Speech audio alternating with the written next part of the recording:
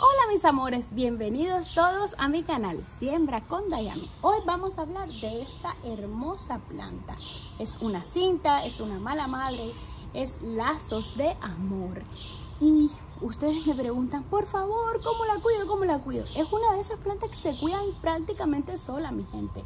Miren qué flores más hermosas. Y es que ella bota todos sus hijitos.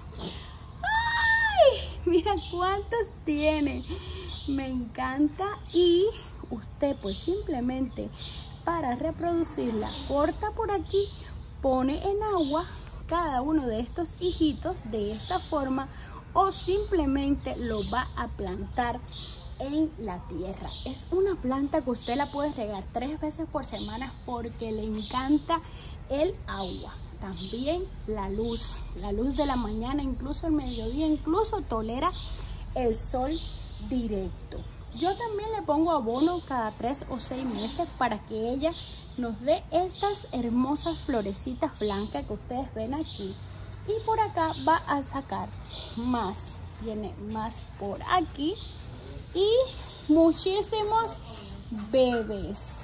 Miren cuántos bebés.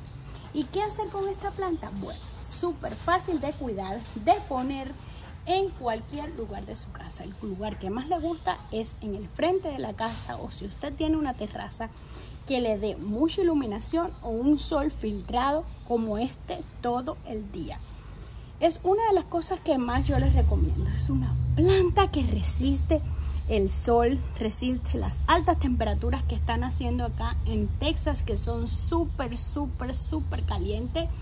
No le pasa nada. Fíjense que es una de las pocas plantas que se pueden vender en todas las temporadas, excepto cuando hay mucho frío. La verdad que el frío no le gusta. Y déjame un comentario y regálame un corazón. Cuéntame en tu país cómo tú le llamas a estas plantas, cómo tú las cuidas Vamos a ver, aquí en la descripción le llaman en inglés spider plant, planta araña. Esa, se me había olvidado contártela.